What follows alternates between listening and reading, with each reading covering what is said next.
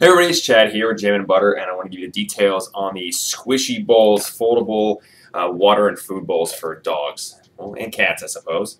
Um, so really, really handy because you know if you're taking your dog or your cat, you know anywhere with you, whether it's uh, taking them uh, across town and you want them to stay hydrated, you take them on a hike, you're taking them across country, or just use this as a standard bowl um, that's easily picked up and packed away. Um, these are great for that. They come in 32 ounces right here, or 48 ounces, depending on how hungry or how thirsty your your dog is. Now, um, the cool thing about this is is obviously when you're done with it, you can just squish them up, and obviously it has a thing here preventing a little bit, but squish this up and stick it in a bag, so it's real easy to um, to transport. But as soon as you're ready, they always spring back to that exact same shape, um, maintaining um, a good base for um, filling up water or um, food.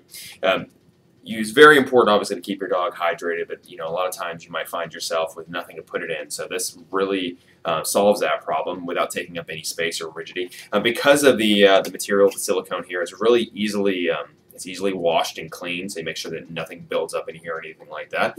Um, you can throw them in the freezer, you can throw them in the dishwasher, you can throw them in the microwave if you want to. They're, it's completely all that safe. I don't know why you'd be nuking your dog's water, but if you want to do that, do that. So very, very neat here for anybody that wants to um, make sure their uh, pet is hydrated. Um, very high quality, thick silicone by uh, Guyot Designs to make a very, very high quality uh, pet line. So don't miss out this. Keep your little buddy hydrated this uh, this uh, summer and all year long. Appreciate you coming by and have a fantastic day. Take care.